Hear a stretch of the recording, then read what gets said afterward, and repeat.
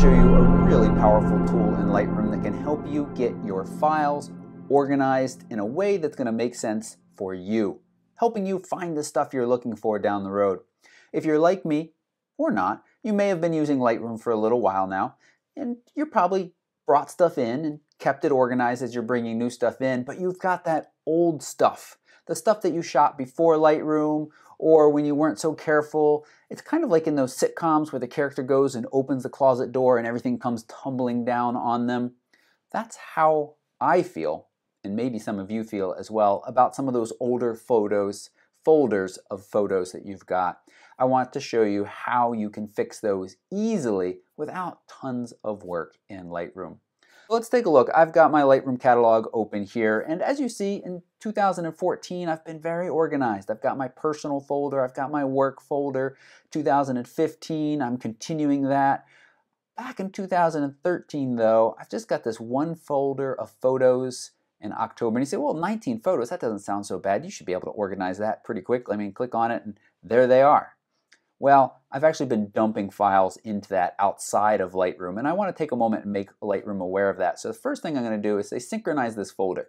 As I was finding stuff on old hard drives, I was just dumping it into this folder because I knew that I was going to make changes. You can, of course, organize stuff outside of Lightroom, but then you're not using these powerful tools. Uh, and everything you do in Lightroom with the folders is reflected outside as well. So it's worthwhile to do it inside Lightroom to use those tools. So it is synchronizing, it is looking in that 2013 folder where I've been dumping stuff over time, and it is finding all of these files. So here, here is outside of Lightroom, and you can see lots and lots of files, mostly from fall 2013. I'm going to keep this example fairly short and sweet. So we've got 1,052 files now in this October, two, sorry, this 2013 photos folder. I'm in the library module and I can come up here to metadata. Metadata, remember, is that little bits of information that is written into the photo file when your camera takes it or when you add it, when you bring it into Lightroom. One of the things that's written into all of these files is the date it was taken. And we've got that set up right here. It's our first filter. Let me just minimize this and this for a second. And so here we are. 2013 pictures taken, sorry, 10,052 pictures taken in 2013.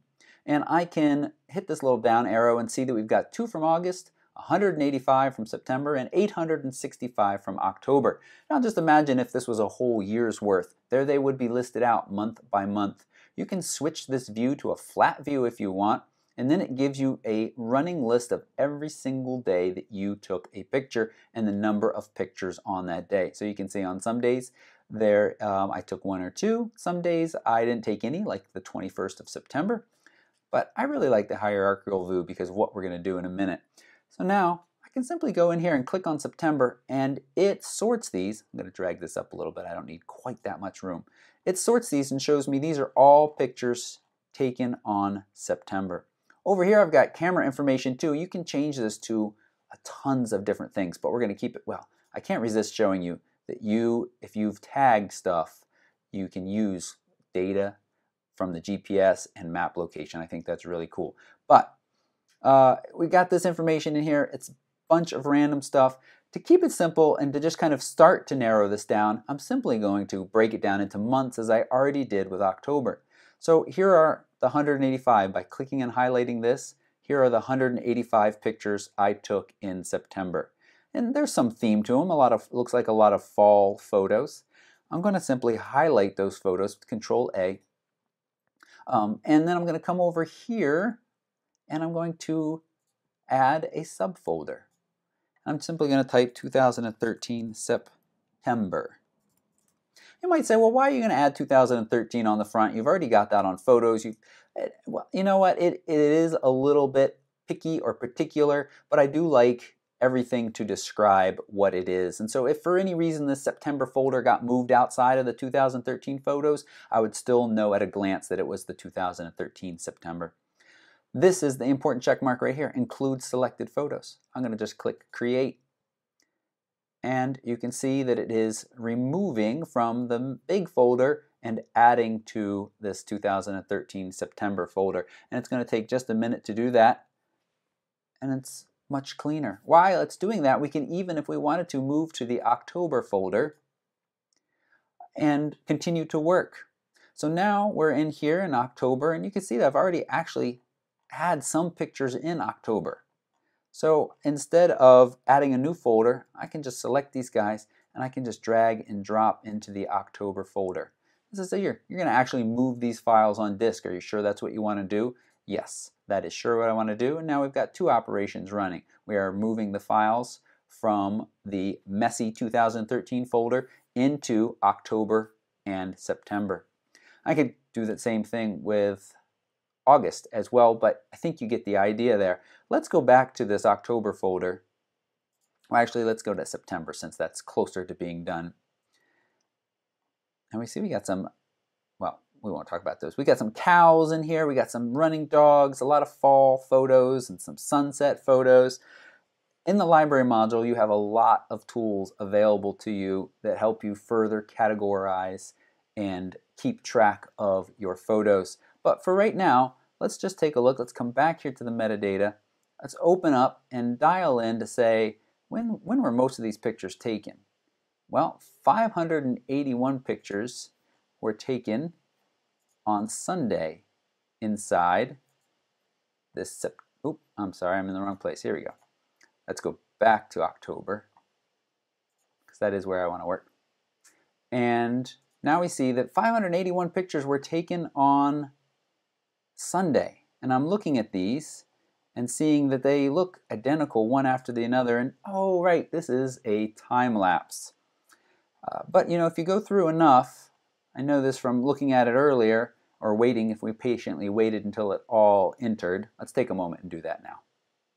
Finish that up. So as I was saying, 581 photos in here, and scrolling through, I see that there are a time lapse. Oh, but there are a couple others that are different.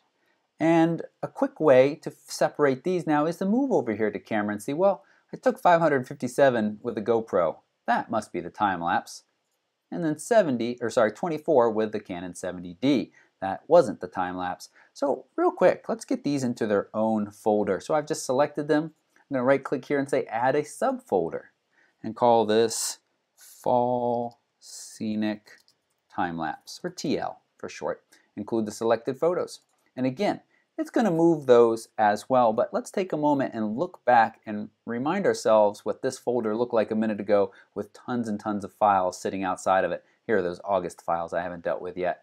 But if we dial into October, we can see that we have our fall scenic time lapse right there. And in there is those GoPro files. So what I'm doing inside of Lightroom is being mirrored or reflected outside in the real world, if you want to say that. And it allows us to use these tools, drag and drop, selecting, file new, to really get organized fairly quickly. Now this is just a small preview of my hour-long episode 4 Lightroom guide. I'm calling this one Power Tools because I take the time to show you these powerful tools, things like the library filter, all of the folder information that we've been working with, and even better, the next step beyond that is collections and smart collections, which is an incredibly powerful way for you to organize your photos and have access to them throughout the Lightroom modules. And one of the things that I commonly hear people say when I talk about Lightroom and RAW photography is they, they don't want to shoot RAW, they don't want to have to edit every photo. You don't. Lightroom makes it so that when you import, you can edit the photos automatically. And I show you that in this series as well. Lots of great information and it's just $2.49. I always wonder when I watch the people do like the infomercials, the OxiClean, are they really that excited about their product? Are they being genuine and honest? And I can say after building this, well, I don't know if they are, but I am really this excited about it because we have put a lot of effort into this. It is good. And the feedback and the reviews we've been getting have been fantastic. And so we're really proud of this. We're really excited to be offering this to folks in the direction and the growth that we're moving. Take a moment, visit photorec.tv slash shop, pick up a few episodes. I've done one in four, kind of getting started, and then the power tools. Christina has talked about two editing and 3 intermediate editing really shows you how you can dial in your adjustments and local areas on that. And 2 and 3 both come with presets, some of which you could make use of in episode 4. These are all just $249 a piece. That's a ridiculously low price. I hope you'll take a look and let us know what you think. Thanks, thanks so much for watching.